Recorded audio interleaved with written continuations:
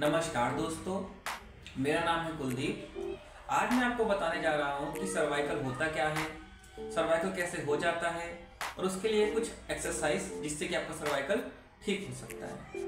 जिसमें आज हम बताने जा रहे हैं कि सर्वाइकल होता क्या है। सर्वाइकल में आपको सबसे पहले नेक में पेन होने लग जाता है इस एरिए में, और फिर नेक पे पेन होने की वजह से जो पेन है, यहाँ से होते हुए शोल्डर में मूव करता है, और शोल्डर से मूव करते हुए पूरे हाथ में जाने लग जाता है। अगर आपको सर्वाइकल होता है तो सर्वाइकल में देखिए, सबसे पहले जो आपको जो पेन होता है, वो इस एरिया में जाता है। यहाँ से पेन होते हुए इधर आता है और फिर यहाँ से पेन होते हुए पूरे हाथ में हमारे जाने लग जाता है। ये जो पेन है, वो यहाँ जो हमारी शोल्डर ब्लेड होती है ना, इसको भी कवर कर लेता है सर्वाइकल का पेन ऐसे।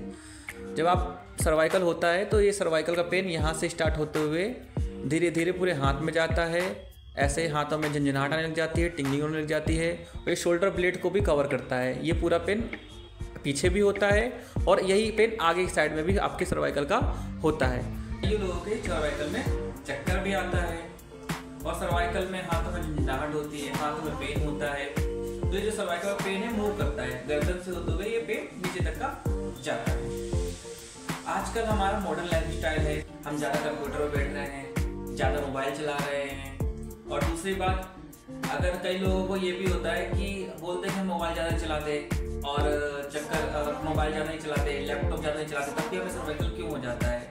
क्योंकि वो कई बार क्या होता है सर्वाइकल हमारे गलत सोने की वजह से भी जाता है। अगर हम ऐसे करके सर्वाइकल के लिए आप बात करते हैं कि हम कौन कौन से एक्सरसाइज करें जिससे कि हमारा सर्वाइकल ठीक हो जाए।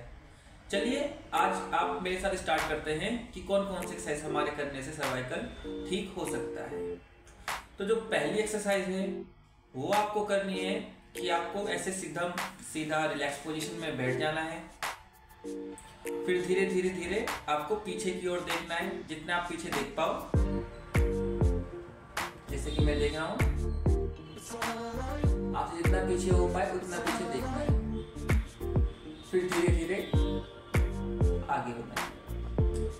फिर इसमें एक चीज़ का ध्यान रखना है। जब आप पीछे देखेंगे तो अपनी सांसों को इनहेल करेंगे और जब दोबारा अपनी पोजीशन पे आएँगे तो आपको सांस को एक्सहेल करना है। जैसे कि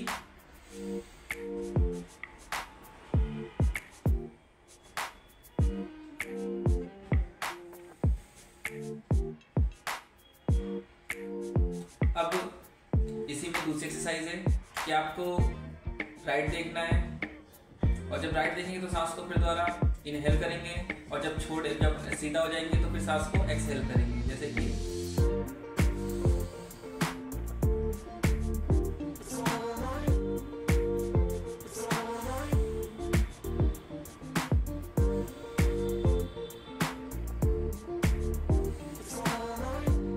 कई लोग इसमें गलती ये कर देते हैं कि अपना जो शोल्डर होता है, उसको ऐसे ऊपर उठा लेते हैं।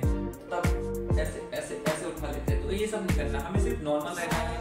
फिर धीरे धीरे ऐसे करना सांस को अंदर करते हुए फिर ये बाहर छोड़ना है। इसी एक्सरसाइज को दूसरी दाई तरफ़ दाई तरफ़ कर लिया तो आप बाई तरफ़ करेंगे। हो गया? अब इसी में हम ऐसे करेंगे।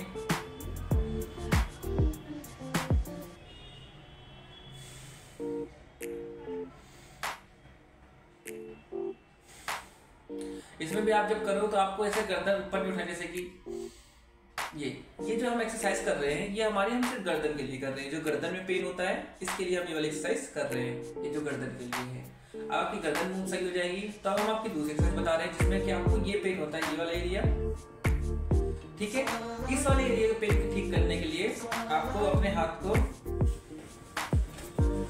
ऐसे कर लेना है, और फिर सीधा होके, ऐसे हाथ करके, यू नीचे को। इससे इस एरिया में हमारे खिंचाव पड़ता है, जिससे कि हमारी सर्वाइकल के एरिया ठीक होने जाता है। पाँच सेकंड होल्ड करके फिर धीरे। जब खींचेंगे तो सांस को दोबारा इनहेल करेंगे। जब छोड़ेंगे तो एक्सहेल तो क्या होता है कि आपकी शोल्डर ब्लेड में पेन जाता है। शोल्डर ब्लेड में पेन जाता है कि मतलब कि ये हमारे किस एरिया में, इस शोल्डर ब्लेड में पेन होता है सर्वाइकल से। तो इसके लिए हमारी एक्सरसाइज होती है शोल्डर प्लेट की पेट की एक्सरसाइज होती है। आप ऐसे बैठ जाइए। धीरे धीरे ऊपर करना है, फिर पीछे को जाना है।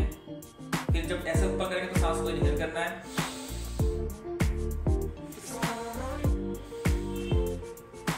इसी को हम में करेंगे।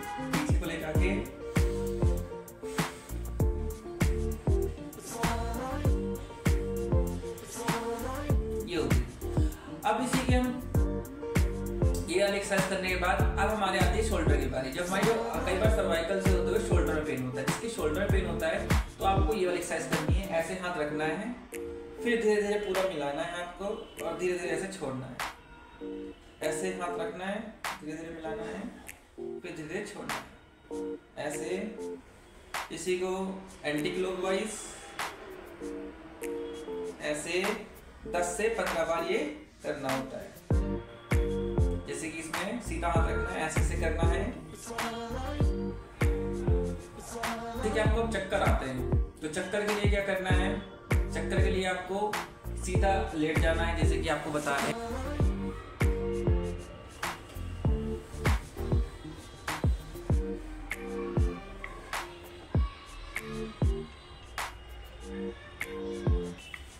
आप ये वाली एक्सरसाइज करने के बाद लास्ट में एक और एक्सरसाइज होती है जो आप कर सकते हो, जैसे कि आपको अपने हाथ को यूँ रखना है, ऐसे करके माथे पे रख के आगे को प्रेस करना है अपने, उसको मतलब प्रेशर डालना है, माथे पे आगे हो जाए, पर आपको आगे पीछे, आगे नहीं करना है ऐसे ऐसे करना है। फिर इसी में ऐसे हाथ रख के पीछे को पीछे को करना होता है, फिर ऐसे हाथ रख के साइड मतलब प्रेशर आपको राइट साइड डालना है, पर हाथ से रोक के रखना है। ठीक है? फिर दूसरा इस वाले हाथ से रख के प्रेशर आपको साइड डालना है, पर हाथ से रोक के रखना है।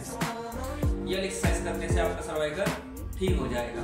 और हाँ अगर आपको सर्वाइकल लग रहा है कि बहुत ज़्यादा है तो आप तकिया लगाना कुछ देर के छोड़ दिए, छोड़ दीजिए। जो तकिया लगाते हैं तो हमारी नर्व नीचे हो जाती है, जिससे कंप्रेस ज़्यादा होती है और पेन होता है।